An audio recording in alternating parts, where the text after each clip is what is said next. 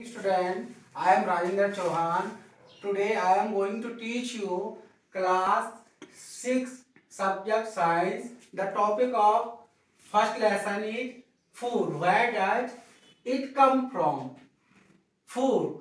First question is food. Why we take food? हम भोजन क्यों लेते हैं हम भोजन इसलिए लेते हैं क्योंकि बिना भोजन के कोई भी एनिमल्स या जो भी लिविंग बींग है वो सरवाइव नहीं कर सकते हैं। बिना भोजन के जितने भी लिविंग बीइंग है वो क्या है अपना दिनचर्या का काम नहीं कर सकते हैं। फ़र्स्ट है जो है फ़ूड फ़ूड हमें कहाँ से मिलता है?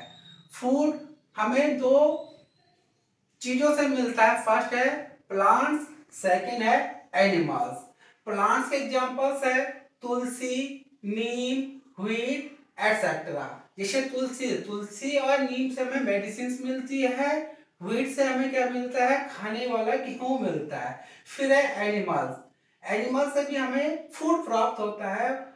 जैसे एग्जांपल्स है हैन काउ गॉड एटसेट्रा देखिए गॉड से हमें मीट मिलती है काउ से हमें मिल्क मिलता है हैन से भी हमें मीट मिलती है।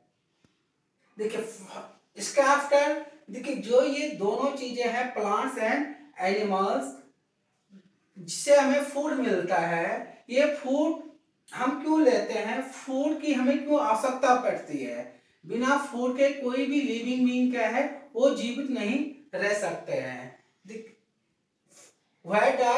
इट कम फ्रॉम देखिए, जो फ़ूड है, इनके स्पेशली दो सोर्स होते हैं जो हमें प्राप्त होते हैं प्लांट्स एंड एनिमल से।